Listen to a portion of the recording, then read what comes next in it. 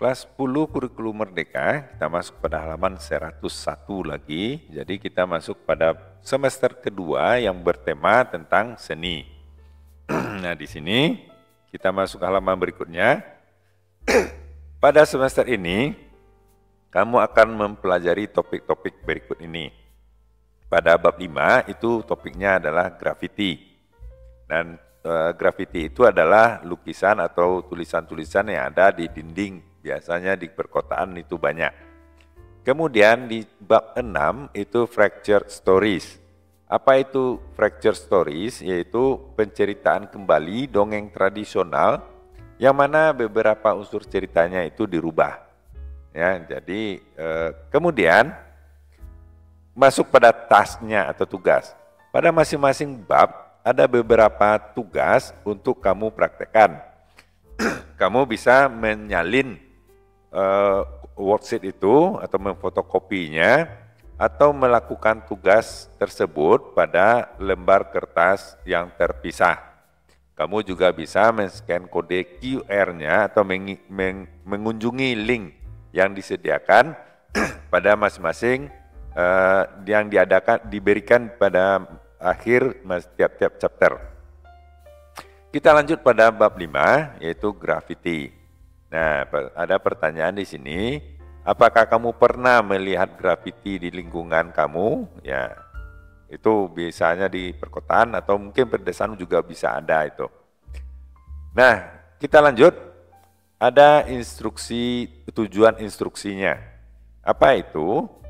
Setelah kamu mempelajari material pada bab ini, kamu diharapkan untuk bisa untuk satu, menentukan konteks mengidentifikasi konteks, ide pokok, dan informasi-informasi yang detail dari sebuah teks ekspositori secara oral maupun verbal yang di, di, disampaikan pada bentuk yang multimodal. Uh, multimodal ini uh, bermacam bentuk ya, ada bentuk tulisan, ada bentuk gambar, jadi mungkin tulisan ada gambarnya gitu.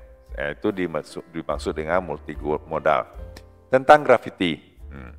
Jadi multimodal tentang graffiti. Yang kedua, mengkomunikasikan atau menyampaikan ide dan pendapat-pendapat sederhana dalam berbagai diskusi, eh, aktivitas kerjasama dan mempresentasikan secara oral tentang graffiti tersebut.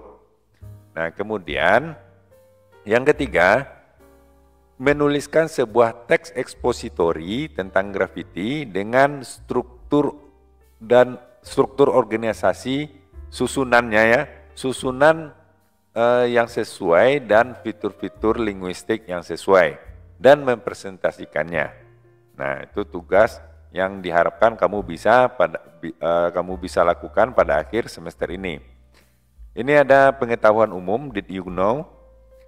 Expository text adalah sebuah teks yang menyampaikan fakta dan pendapat tentang sebuah topik.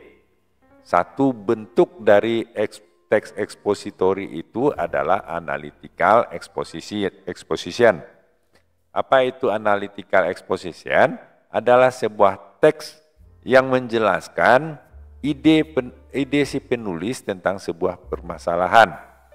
Nah, dia mengambil posisi sehubungan dengan masalah ini yang menjadi subjek dari tulisan dan menyampaikan bukti-bukti untuk mendukung posisinya. Tujuannya adalah mengajak si pembaca untuk ikut pada eh, posisi yang diambil oleh si penulis.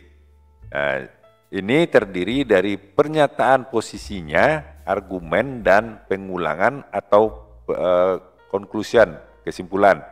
Jadi maksudnya gini, tulisan ini adalah untuk menyampaikan pendapat si, si penulis bahwa dia setuju tentang sesuatu dan dia mengajak orang-orang untuk melakukan untuk setuju juga sependapat juga dengan dia.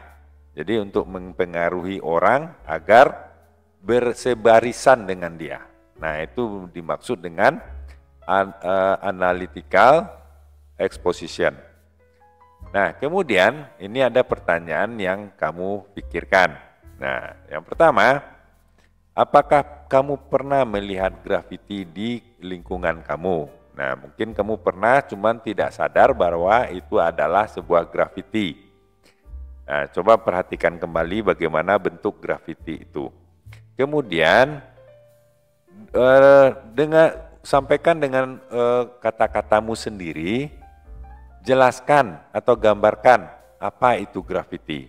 Nah ini tugas kamu kembali ya eh, untuk kamu laksanakan dan tidak bisa saya bantu untuk menjawabnya karena ini adalah eh, pengetahuan dasar dari eh, bab 5 ini. Nah barangkali itu dulu untuk kali ini. Jangan lupa subscribe dan like videonya. Mudah-mudahan bermanfaat. Sampai jumpa.